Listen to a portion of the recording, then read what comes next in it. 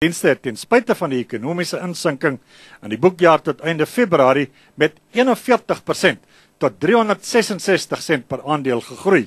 Maatskappy wins was 42% stewiger en die aanbevole dividend is 110 sent per aandeel, 'n stygings van sowat 47% en by ons in die ateljee vanmiddag is Capitec se uitvoerende hoof Rian Stassenhuis altyd op Stellenbosch as ons telefonies met hom praat maar ons het hom vandag hier in Johannesburg. Hy's verskriklik opgewonde om te praat oor hierdie stel resultate net so opgewonde om hier in Johannesburg te wees en ons het eers vir hom hier van die groen ateljee lekkertjies gegee net om hom te kalmeer. Ja, goeiemôre en welkom hier by ons by RSG. Dis 'n groot plesier om jou te hê veral met hierdie stel resultate. Goeiemôre Agnes. Capitec Bali stel resultate op 'n tydstip dat die land se voorste handelsbanke en groot handelsbanke in vele opsigte agteruitgeboor het. Ons kyk na die hoofredes vir julle welslaag. Anders ja, ek glo die uh, die hoofrede is die sterk groei wat ons met ons kliënte getalle gehad het. Uh ons kliënte getalle is op met 43% na net oor die 1.8 miljoen. Ehm um, die groei in kliënte dryf gewoonlik twee inkomste strome vir die bank. Die een is die inkomste stroom uit ons leningsaktiwiteite. Uh Capitec konsentreer net op onversekerde mikrolenings. Uh daardie inkomste het met net oor die 50% gegroei en dan uh baie bemoedig is ons uh, transaksieinkomste. Dit is die inkomste uit normale banktransaksies uh wat amper verdubbel het uh, met 'n bydrae tot uh 130 miljoen. Rian, dis 'n dis 'n uitstekende stel resultate en ek ek moet julle baie gelukwens. Uh, net 'n paar vrae rondom die besigheid vir al julle kliënte. Ons is in 'n posisie wat wat mense onder druk is in terme van hulle skuldverhoudings wat rentekoerse mense druk. As jy kyk na julle kliëntebasis, hoe presteer hulle onder hierdie omgewing en hoe voel jy gaan hulle die volgende klompie maande doen? Ja, die uh, kliënte verspreiding het het, het redelik uh, verander oor die laaste 5 jaar. Ehm um, ons het uh, aanvanklik toe ons die bank begin het primêr gekonsentreer op baie kort uh, mikrolenings. Ons het dit uitgebrei na lange termyn lenings veral sodat ons toegang tot befondsing verbeter het. Ehm um, en ons konsentreer baie sterk daarop om die keringsparameters deurlopend aan te pas sodat ons die risikoprofiel van ons kliënte sien verander. En ek moet sê in die laaste jaar veral het ons tog 'n redelike drastiese verandering in die risikoprofiel van van kliënte gesien. Ehm um, as ek kyk uh verlede jaar Februarie op verjaar Februarie lenings wat ons goedgekeur het, uh was daar 'n 5% afname in die vermoë om uh om daai lenings te dien. Dit wil sê totale uh totale terugbetalings tot inkomste uh het met uh 5% uh verhoog. Uh wat egter uh nie so goed is nie, is kliënte wat ons afgekeur het, het daai persentasie met meer as 20% verhoog. So ek het geen twyfel dat daar wel redelike ernstige druk in die ekonomie uh op die middellaar laer inkomste mark ook is nie. Rian, jy het aanvanklik begin, kom ons sê op die amper soos 'n mikrolener in korttermynlenings na 'n spesifieke marksegment.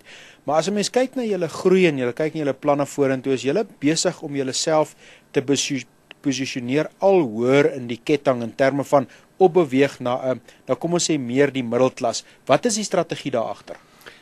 Ehm um, ons sakemodel was nou altyd gebaseer op uh, die gee van eenvoudige bankdienste. Uh en ons geloof is dat daar 'n baie wye spektrum van Suid-Afrikaners is wat 'n behoefte het aan eenvoudige, deursigtige uh relatief goed gepryste bankdienste. Uh so anders dan tradisionele banke het ons nie 'n 'n afsnypunt op op inkomste noodwendig nie. Ons kyk 'n bietjie breër as dit.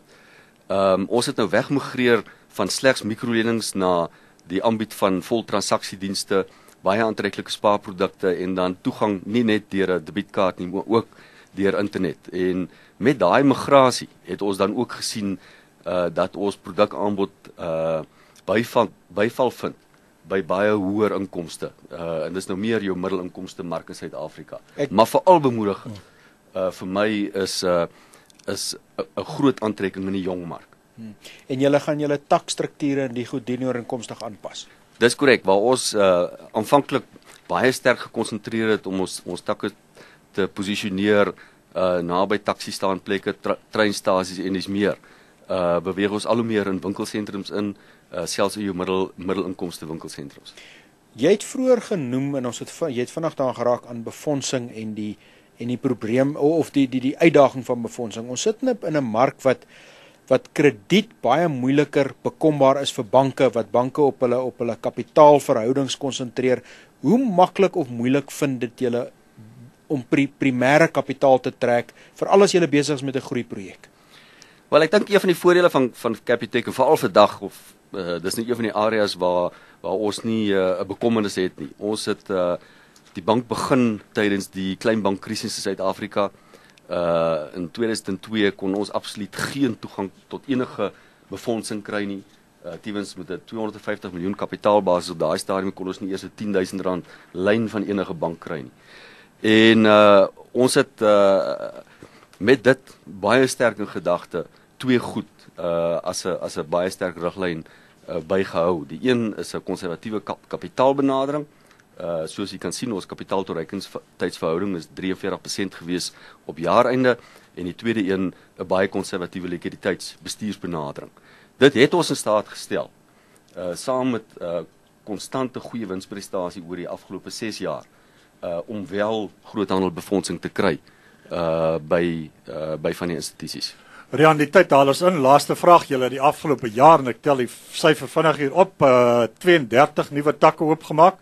Planne vir hierdie jaar wat is in is finansiële jaar baie kortliks wat verwag julle uh uh resultate gewys vir die jaar? Ons uh ons is groei glo nog steeds daar baie sterk groei potensiaal is so ons beplan om 40 nuwe takke oop te maak in die jaar.